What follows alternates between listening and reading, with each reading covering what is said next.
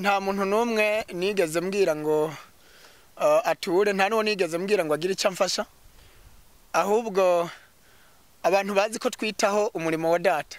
Nuko bigoye kwemeza ab'isi atari ku bundi bigaragara ko uri umukozi w'imana ati kuko na yesu bamwemeye bitinze. Ni mu gihe yari abonye nari maze gusengera uriya mwana w'igasogi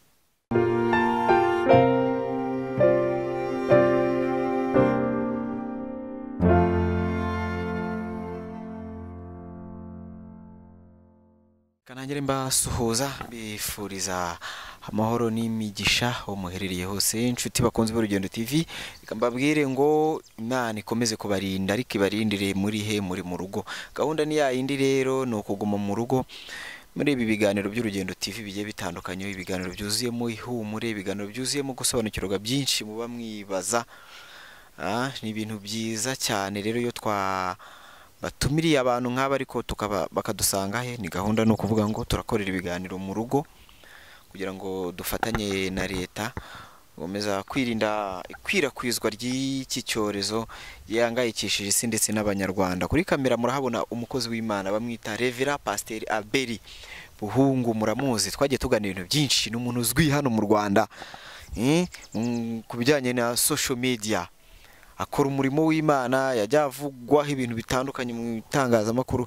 Ariko nanone akaba ari n'umuntu imana ikoresha imirimo igiye itandukanye haba gusengera abantu haba kuvuga ubutumwa ndetse haba no kwerekwa. Akaba yavugwa imana yamweretse. Ubwashize twari twamutumiye atubwira ku iyerekwa yagize. Ariko uyu munsi hari n'ubundi buryo twamutumiyemo. Nk'umuntu uba ushumbye intama nk'umuntu w'umuyobozi w'itorero uyobora abakirisitu hari ibintu byinshi tuba dufite byo kumuganiriza. Ikaze ku rugendo tv Ah, murakoze samu umunyamakuru wacu. Ah, imana iguha umugisha. Eh, turabashimiye. Urugendo tv turabakunda cyane. Reka tutari twajya kure. Turi mu bihe eh, by'isi ndetse n'abanyarwanda turugarijwe. Reka du- du- du- dutangire ikiganiro n'isengesho. Murakoze imana umugisha. Reka dusenge mana yacu turagushimye. Uri imana nziza uri imana ikomeye. Uri imana ishobora ibidashoboka. Uri imana ica inzira aho zidacika. Utembesha amazi mu butayu ugatembesha imigezi mu kidaturwa kugira ngo wuhire ubwoko bwawe. Uruwera wa isiraheli uri imana ya aburahamu na isaka na yakobo uri intare yo mu muryango wa yuda uri umunago wo ku gishyitsi cya dawidi. Uri arufa na omega uri itangiriro ukaba n'iherezo uri uwa mbere kandi uri uwa nyuma. Nta wakubanjirije nta n'uwo uzaguherukira ufite ijambo rya nyuma. Uravuga bikaba wategeka bigakomera. Turasengeye abantu bose biteguye gukurikira kino kiganiro mu izina rya kirisito yesu. Kugira ngo abazacumva bose kize kibafashe baze bakuremwo inyigisho z'umumaro kandi babashe guhinduka rwose. Reka uwiteka imana ubane na buri wese witeguye gukurikirana kino kiganiro kandi nanjye unshoboze. Umunyamakuru wacu samu nawe umuhe umugisha umugirire neza kandi umuhe imbaraga kugira ngo abashe gukora uyu murimo kugira ngo abashe kugeza ivugabutumwa hirya no hino kure abifashijwemo nawe kuko nta muntu wabyishoboza. Urakoze rero turagushimiye kandi ko watubashishije kugera aya masaha tugihumeka umwuka bazima kandi urakoze ko ari wowe wabyemeye kugira ngo tubwirize abantu bose ijambo ryawe kugira ngo abantu bose babashe guhembuka kugira ngo abantu bose babashe guhumurizwa. Ijambo ryaravuze ngo tuvuge ibyururutse imitima ni byo tuje kuvuga. Reka rero tugushimire tuvuga ngo wakoze kuko waturinze. Ganza kandi utegeke muri byose izina ryawe nirihabwe icyubahiro mu izina rya kirisito yesu umwami wacu. Amen. Amena amena imana imuha umugisha revera pasiteri aberi bwo gutangira ikiganiro cyacu dushyira imbere y'imana reka tugushimire cyane kandi um, tukomeza kwiragiza imana muri iki kiganiro tugiye kugirana aberi hari ubwashize twagiye tuganira turi mu bihe bitoroshye ni uruhe ruhari eh, urwo rwo rwawe nk'umukozi w'imana mu- gufasha abanyarwanda mu gufasha intama uyoboye muri ibi bihe. Eh, murakoze. Eh, samu ndagushimiye. Ubajije ikibazo cyiza cyane. Eh, uruhare rwanjye icya mbere ni ugusenga. Nsengera igihugu cy'u rwanda n'ibindi bihugu muri rusange. Icya kabiri ni ugufasha mu buryo butandukanye gufasha si ugusenga gusa. Eh, naba mfite bitanu Ah, nkamenya ko hari uwabibuze. Nkaba namuha bibiri kuri mobile money nkasigara na bitatu. Ah, eh, ubwo nabwo n'ubundi bufasha kandi eh, bufasha umuntu bukanezeza imana. Hanyuma ikindi nabwira abadukurikiye eh, ni uko imirimo imirimo y'abera izibukwa. Hanyuma rero eh, ariko kandi na cyane cyane ikindi mbafasha nabashishikariza eh, kuguma mu rugo eh, birinda korona virusi nk'uko amategeko abidusaba. Hanyuma ikindi bagasenga cyane hari n'ibindi amategeko ya leta adusaba. Icya mbere ni ukuguma mu rugo gukaraba neza amazi meza n'isabune. Ariko na cyane cyane bagasenga. Nubwo natwe tubasengera ariko nabo bagasenga aho bari. Hanyuma mm, ndumva muri rusange ni ibyo. Rero umurimo ndawukora mu buryo butandukanye. Ndi mu rugo nsengera abantu hirya no hino ku isi yose. Ah, ariko ah, no kuri telefone abashoboye kumpamagara nabwo nkabafasha mu gusenga kandi imana iga- igakora. Hanyuma no ku itangazamakuru eh, iyo muduhamagaye murabona ko twitaba tukaza. Murakoze. Urabivuze byose. Ntegereza ahantu ushyiramo ko eh, abantu ab- amaturo kuri mobile money eh, abandi bashumba bagiye bayaka. Wowe itorero uyoboye ntabwo wigeze ubwira abakirisitu ngo bature? Ah, urakoze cyane. Ah, nta muntu n'umwe nigeze mbwira ngo ah, ature. Nta n'uwo nigeze mbwira ngo agire icyo amfasha. Ahubwo abantu bazi ko twitaho umurimo wa data. Iyo umuntu yabonye ibihumbi mirongo itanu ashobora kuvuga ati reka ndamuhe cumi cyangwa se makumyabiri.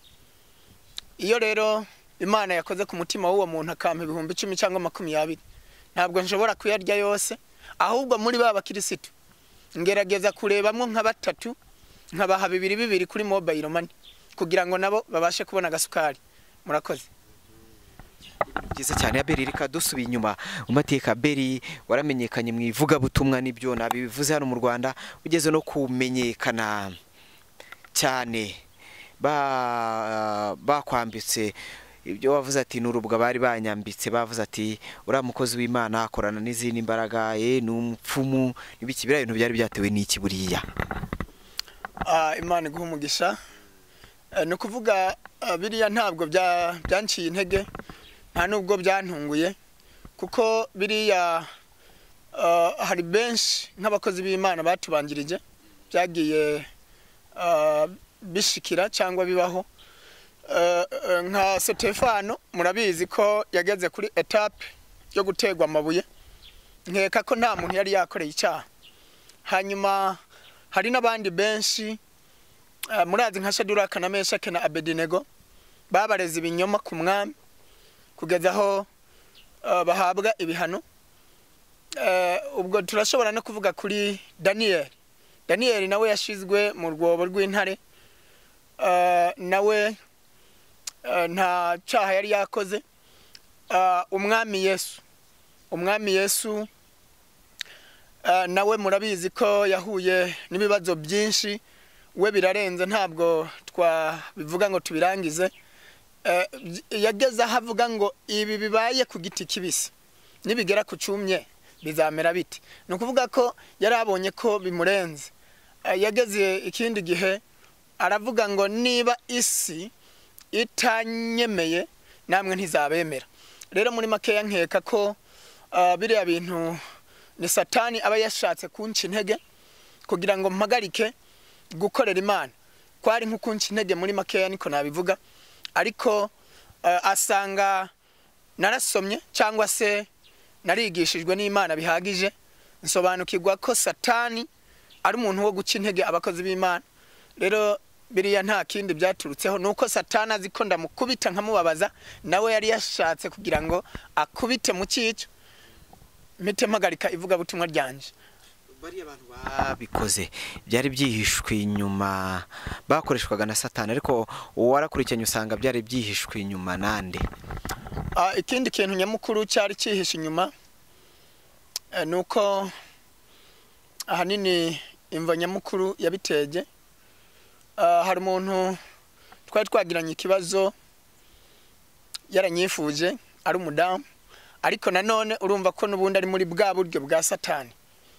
Hanyuma rero maze kumubwira ko bidashoboka agira akantu k'ishari ashaka kuvuga ngo ah, anyihore cyangwa se anteshe agaciro.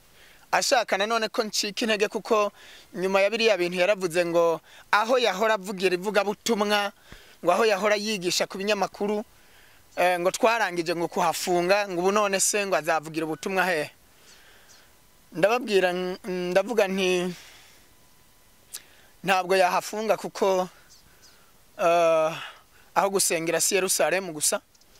Ndavuga ngo nubwo yafunga ku binyamakuru ndavuga ngo nabuvuga no mu muhanda. Rero niyo mpamvu nyamukuru eh, byaturutseho. Byagusigiye isomo byaguhaye izihe mbaraga mu murimo w'imana? Uh, byanteye imbaraga nyinshi cyane bintera no gukora cyane kuko uh, ntabwo nabifashe nk'aho nsebye kuko nasobanukiwe ko abakozi b'imana bama baseba. Ikindi cyigisho nakuyemwo cyanteye kugira imbaraga nyinshi cyane. Ah, maze kubona bigenze kuriya nasobanukiwe ko nincika intege nkahagarika gukora ivugabutumwa. Satani arabatsinze. Icyo ni cya mbere. Icya kabiri ndavuga ngo aha ni ho ngomba gukora cyane. Kuko Theo yararirimbye aravuga ngo barakwangika kwemera. Baraguca na yo igaca akanzu. Rero byampaye kugira imbaraga nyinshi cyane kandi nasobanukiwe ko eh, iyo umuntu atari uw'isi umubiri n'isi na satani bigomba kumuhagurukira kumugwanya. Rero muri makeya kubera ko tutari ab'isi isi niyo mpamvu itugwanya narushijeho gukora cyane yego birumvikana ndavuga ngo ubw'isi indwanya nsobanukiwe ko ntari uw'isi kuko biri mu ijambo yesu yavuze aravuga ngo isi nibakunda izaba ikunze icyayo. Nibanga nabwo muzamenye ko yabanje kunyanga. Aravuga ngo kuko mutarabisi isi ntizabemera. Rero muri makeya eh, iyo eh, kandi iyo uh, uza iyo imana izagukoresha ibikomeye ikunyuza no mu bikomeye. Murakoze. Ati imana izagukoresha ibikomeye ikunyuza no mu bikomeye biriya bintu byose wanyuzemo bya kera gihe. Ku bakirisitu bawe ntabwo byabahungabanyije. Bo byarabahungabanyije cyane kuko abantu ntibasobanukirwa kimwe. Ah, hari abantu bashobora kubibona biriya bagahita bemera Ah, na cyane ko ah, Theo hari indirimbo nkunda cyane Ah, buriya Theo ndakunda cyane indirimbo yaririmbye yararirimbyemo indirimbo avuga ngo eh, ngo ngo ikinyoma ngo kirugamishwa ngo ariko ngo ukuri kukanyagirwa. Rero muri makeya abantu benshi kugira ngo ukuri bakumve ntabwo biba byoroshye. Ariko ikinyoma bihutira kucyumva cyane. Rero benshi barahungabanye ariko ngerageza kugenda mbasobanurira abambagiye nkabasobanurira. Hari n'abatambagije bacitse intege ariko uko nakomeje gukora cyane mu murimo w'imana.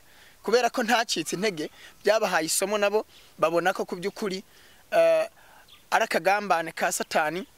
Abandi nabo benshi twagiye tuvugana bakambaza nkagerageza kubahumuriza na cyane ndabereka abakozi b'imana batubanjirije mbere. Uko byagiye bibagendekera bahuye n'ibibazo bikomeye birenze ibyo nahuye na byo. Kuko njye ntabwo nageze kuri etape eh, yo gutegwa amabuye. Nubwo na byo byari bimeze nk'amabuye ntabwo byari byoroshye ariko ntabwo nageze kuri etape yo guterwa amabuye eh, mu muhanda. Ntabwo nageze kuri etape yo gushyirwa mu ngunguru y'amavuta. Rero benshi byarabahungabanyije ariko uyu munsi ndashima imana Ah, imana yagiye igerageza eh, kumfasha benshi bamaze kumenya ko eh, biriya bintu ari nk'ibyabaye ku bandi bakozi b'imana bose. Byabaye kuba baranyise umupfumu ko nkorana n'izindi mbaraga atari ko bimeze ntabwo byanca intege mu murimo w'imana. Nyuma y'icyo gihe nyuma y'ayo magambo nyuma y'uwo muyaga kugeza ubu mm, imana irimo igukoresha iki? Ni ikivuga ati hari icyo imana yankoresheje nyuma yawo mu murimo wayo? Ah, urakoze cyane. Eh, imana yakomeje kunkoresha cyane. Eh, nakomeje gufasha abantu nk'uko byari bisanzwe. Ah, impano imana yampaye ntabwo zigeze zihagarara ngo zireke gukora. Nakomeje gusengera abantu. Imana imbwiye ikintu ku muntu nkamuhamagara nk'ikimubwira. Abandi bampamagara imana ikampishurira Ah, ah, samu nagire nkubwire ukuri. Harimo n'umuntu yampamagaye kuri telefone arambwira ngo waziye igihe mu rwanda. Arambwira ngo nuko bigoye kwemeza ab'isi. Atari ku bundi bigaragara ko uri umukozi w'imana ati kuko na yesu bamwemeye bitinze. Ni mu gihe yari abonye nari maze gusengera uriya mwana w'igasogi amaze kuzuka ni bwo uwo muntu yampamagaye arambwira ngo ab'isi bagoye kwemeza. Ariko ubundi ntako imana itagira ati kuko na yesu bamwemeye bitinze. Rero muri makeya hariho umuntu aheruka kumpamagara samu arampamagara arambwira ati ndagwaje mama muri fayisari ati kandi agwaye bikomeye. Atari iki kibazo mfite? Kugenda mu muhanda ngo mbe namukugezaho ngo umusengere ntibyoroshye kubera ko na cyangombwa uwugifite ni we yanditseho ni we yemerewe kugenda wenyine. Ndamubwira nti si ngombwa ko imana ikora ari uko nagiye. Ndavuga ngo nshobora gutegeka. Ndaho ndi ndi mu rugo imana igakora. Ndamubwira nti utaravuga byinshi. Imana irambwiye ngo bamubaze ikibyimba cyo ku bwonko. Arambwira ati niko bimeze. Nicyo kintu arwaye. Ati kandi ari muri koma. Ndasenga maze gusenga imana. Imana irambwira ngo mubwire ko atazapfa. Bari bafite ubwoba bazi ko azapfa. Eh, ndumva neza nakurikira iki kiganiro araza kumenya eh, araza kwiyumva. Rero arambwira ati ni ukuri mukozi w'imana ndizeye sengera mama ntapfe n'ukuri kuko birakomeye. Ari muri koma ntavuga ntareba ariko maze gusenga.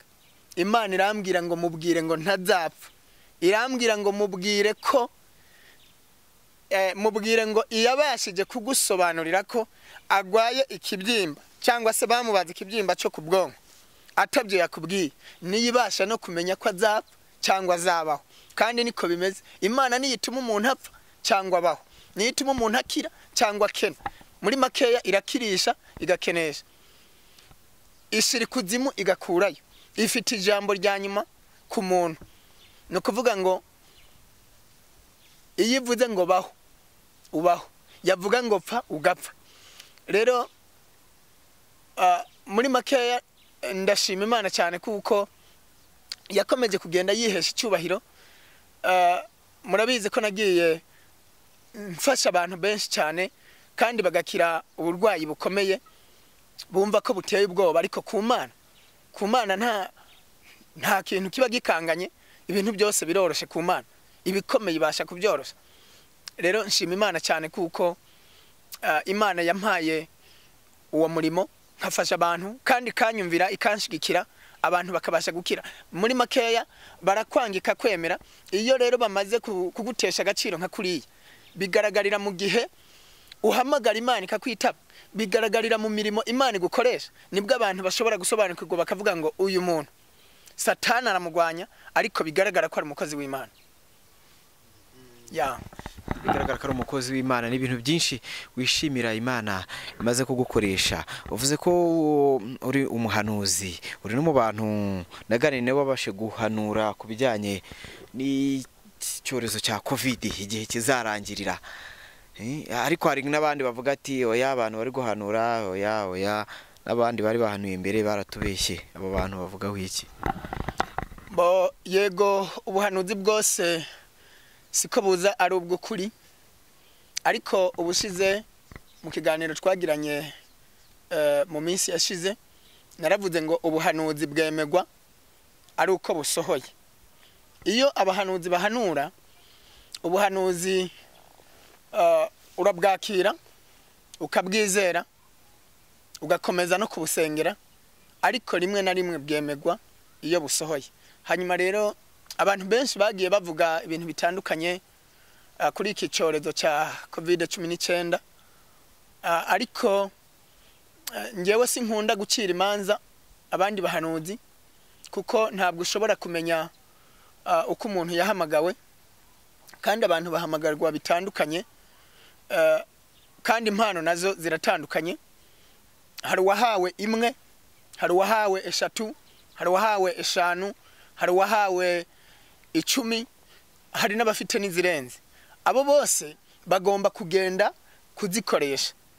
Rero ntabwo nshobora gucira urubanza ngo runaka yakoze gutya uwundi ngo yakoze gutya ahubwo ngenda avuga ku giti cyanjye Eh, rero iki cyorezo hari n'abantu bagira amakomanteri menshi agiye atandukanye.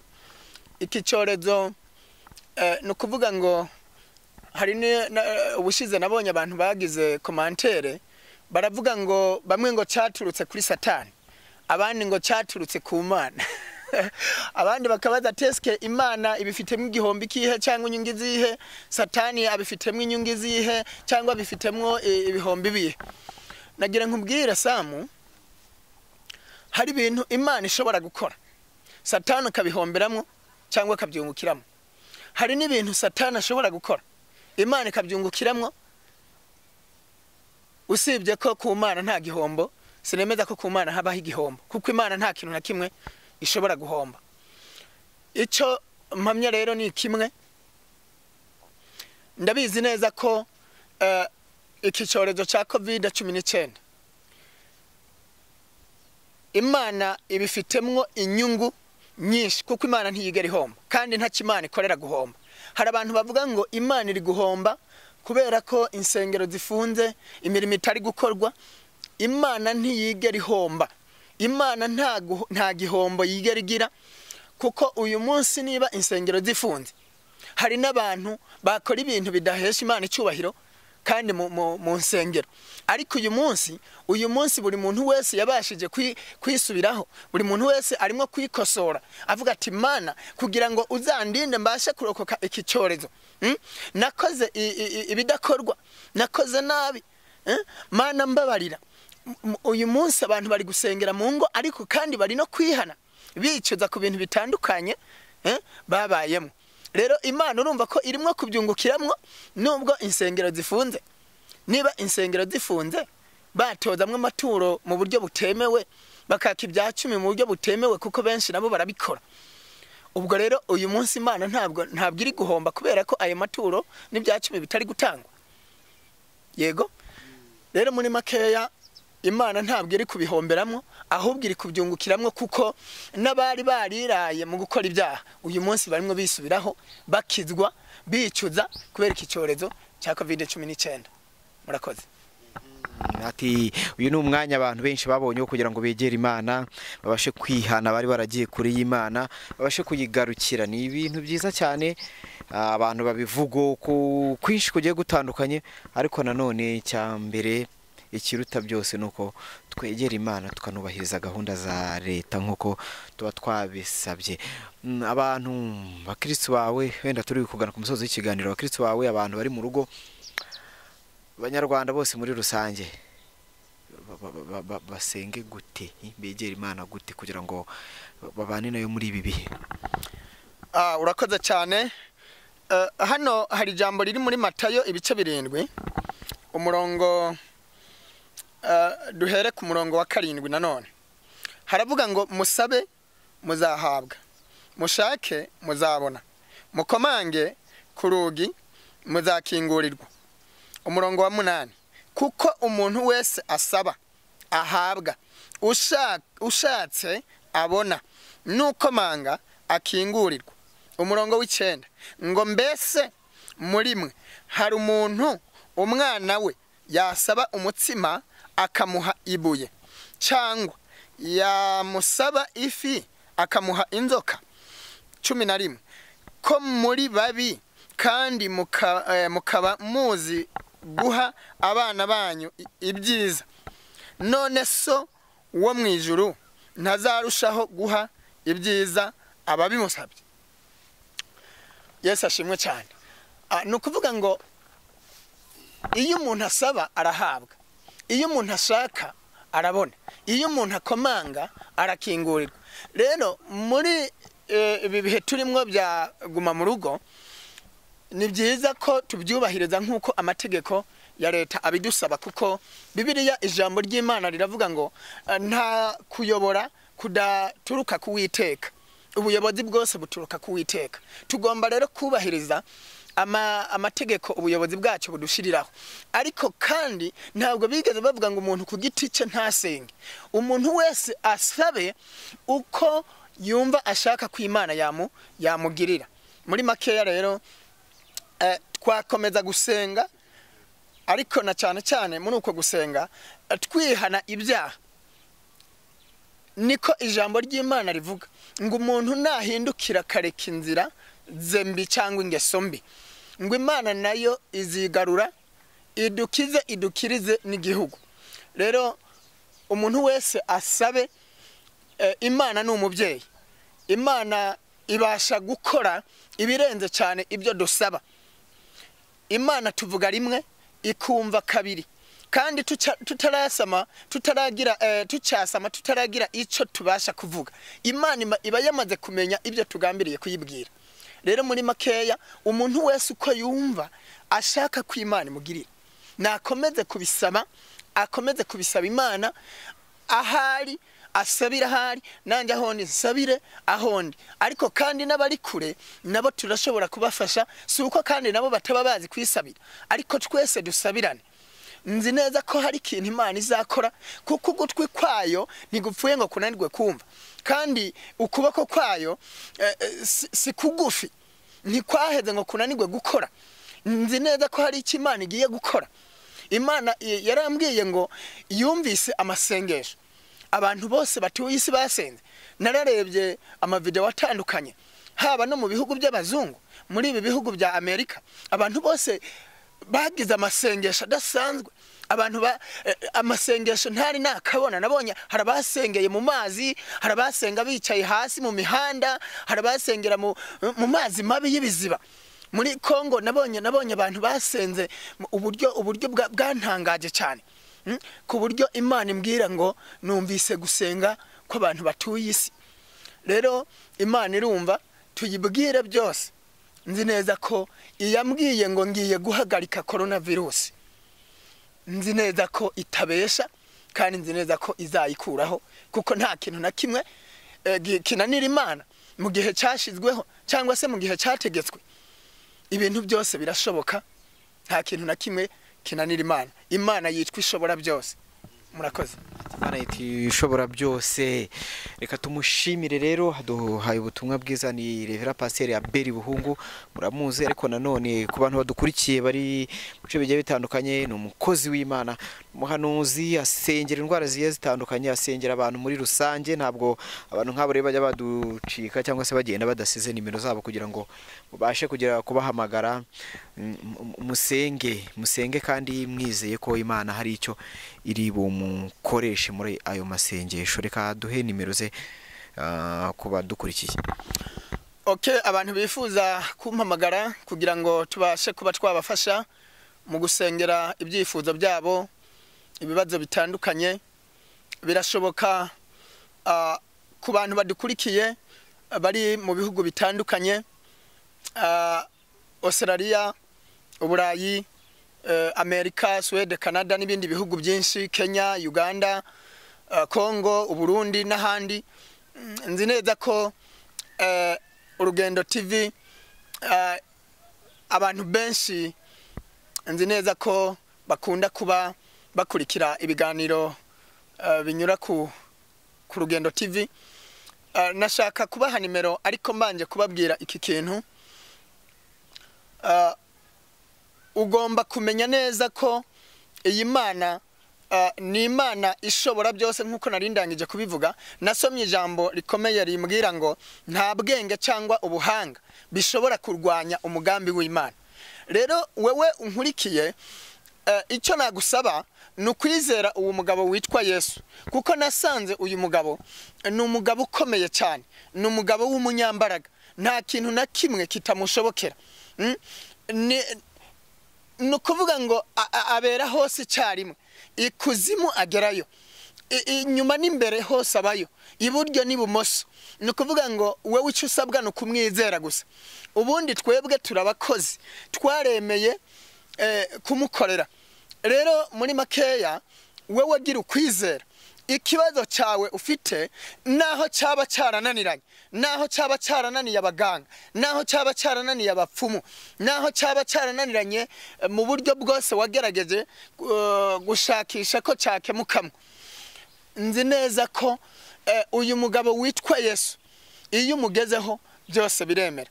Rero ku bantu bifuza ko tubafasha ku bibazo ibyo ari byo byose ingumba zirabyara. Abarwaye barakira ababuze urushako.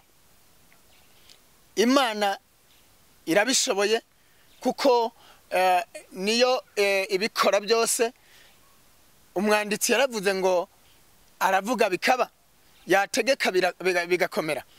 Rero inomero mwashobora kutubonaho ah, ni ikimenyetso cyo guteranya amagana magana abiri na mirongo itanu eh, karindwi umunani mirongo itanu n'umunani mirongo itandatu na kane mirongo irindwi gatanu. Ndayisubiramwo ikimenyetso cyo guteranya.